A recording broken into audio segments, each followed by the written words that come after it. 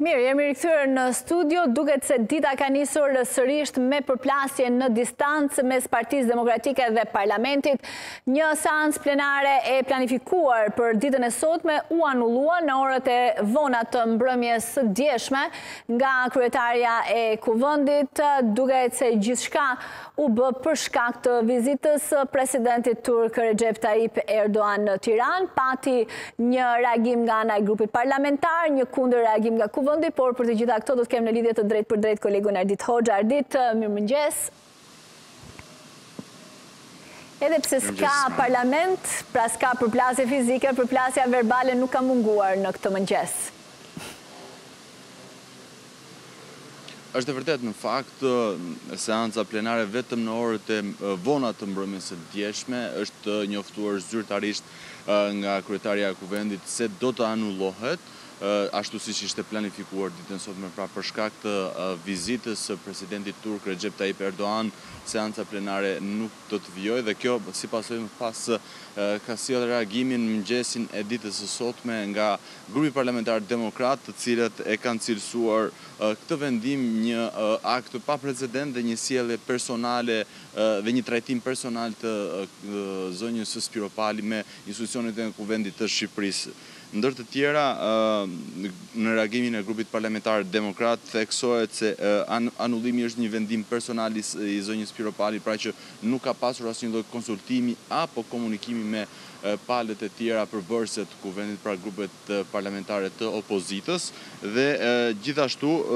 është një vijim i një sjellje aspak normale dhe korrekte që do duhet të tregojë kryetarja e Kuvendit në raport me palët përfaqësuese që e përbëjnë Kuvendin e Shqipërisë. Gjithashtu, ka edhe një përsëritje të akuzave në fakt që zakonisht grupi parlamentar bën ndaj kryetares së Kuvendit, zonjës Spiropali, duke e cilësuar atë si përfaqësuese të, po themi, grupeve të errëta të lidhura me krimin, të cilët kanë arritur ta çojnë atë deri në kupolën, pra në drejtimin e Kuvendit të Shqipërisë. Këtyre akuzave dhe po themi këtyre deklaratave të forta që ka bërë që në mëngjesin e sotëm grupi parlamentar demokrat, zonja Spiropali zgjodhi që t'i përgjigjej në të njëjtën formë pak a shumë me një reagim të bërë për mediat ku thekson se sulmet që vijnë nga Partia Demokratike janë jo etike, por mbi të gjitha jo njerëzore, përveçse janë sjellje kundër një po antidemokratike për shkak edhe të duke marrë shkak edhe në fakt edhe nga aksioni i opozitës në javët e fundit ku ka pasur bllokime, tensione dhe përplasje të vazhdueshme mes deputetëve të Partisë Demokratike dhe atyre të Partisë Socialiste. Ndër të tjera, Kryetarja e Kuvendit ka bërë një ftesë në fakt për grupin parlamentar demokrat që të lërë mënjanë këtë lloj aksioni dhe këtë lloj sjellje që bën gjatë dy javëve të fundit në parlament, por t'i por t'i qaset arsyes dhe të rikthehet në shinat e normalitetit të jetës politike dhe asaj parlamentare. Ndër të tjera, Në këtë reagim, kryetarja e Kuvendit, zonja Spiropali, ka deklaruar se nuk do të tolerohen më shfaqjet denigruese të secilës palë në Parlament, aq më pak të deputetëve të caktuar, të cilët me dhunë kërkojnë të imponohen ndaj institucioneve dhe ndaj shumicës parlamentare. Kjo është sa i takon kësaj përplasje të ndodhur në distancë mes grupit parlamentar demokrat dhe kryetares së Kuvendit, zonjës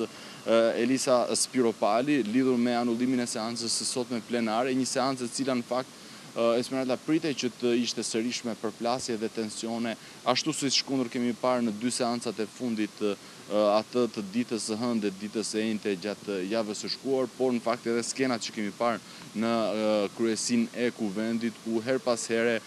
deputetët e dyja palëve janë përplasur dhe konfrontuar mes njëri-tjetrit, por gjithashtu edhe me punonjësit e Gardës në mbledhjet e caktuara të komisioneve parlamentare. Ardit, nuk e di nëse ka ndonjë plan si do të vijojë aksioni i Partisë Demokratike, pra përveç pjesës së parlamentit, që me sa duket tashmë kjo do të shtyhet për ditën e hënë kur dhe do të mbahet seanca. Çfarë Ose për datën shtatëmbëdhjetë të enjten tjetër, diçka e tillë, kur do jetë seanca e radhës. Në asnjë moment nuk do të ketë ndërprerje, të paktën këto janë informacionet që na kanë bërë me dije gjatë ditëve të fundit nga zyrtarë të lartë të Partisë Demokratike në komunikimet informale që kemi pasur, pra do të vijojë aksioni i njëjtë siç kemi parë gjatë këtyre dy javëve në parlament dhe me ripërsëritje të protestave po pa pasur një datë ekzakte se kur do të organizohen ato e kam fjalën pra protesta kombëtare si ajo që pamë të hënën gjatë këtë të hënë pra dhe ndoshta mund të kemi edhe një ndryshim të sërish të formatit të protestave këtë herë për të kaluar me gjasë ndoshta drejt ngujimit apo edhe një greve urie, por kjo edhe pa saktësuar plotësisht nëse do të shkohet direkt në protestën e radhës drejt ngujimit apo grevës së urisë apo do të ketë një seri protestash të cilat më pas do të konkludohen apo do të finalizohen me një akt të tillë pra siç mund të ishte ngujimi. Krahas krahas kësaj sjellje jashtë parlamentit e njëjta situatë pritet që të vijojë edhe brenda në seancën plenare, aty ku deputetët, të paktën ata që janë të lejuar për t'u futur në seancat plenare, pra që nuk janë të pezulluar dhe të përjashtuar nga Komisioni i Etikës, do të tentojnë sërish që të mos mos lejojnë zhvillimin normal të seancave plenare, por të kemi gjatë gjithë kohës, po themi, tension, përplasje dhe një situatë kaosi edhe në institucionin e Kuvendit, si në gjatë seancave plenare, por po ashtu edhe në atë të komisioneve që zhvillohen në kryesinë e Kuvendit. Kjo është kjo është pak a shumë panorama në të cilën aktualisht gjendet opozita dhe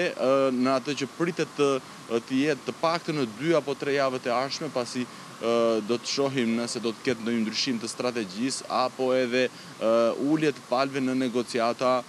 për të për ta zgjidhur dhe për të dalë nga ky ngërç dhe nga kjo krizë e re parlamentare apo edhe politike më gjerë. E kuptoj. Mirë, Ardit, të falenderoj shumë për këtë informacion që përcolle në studio.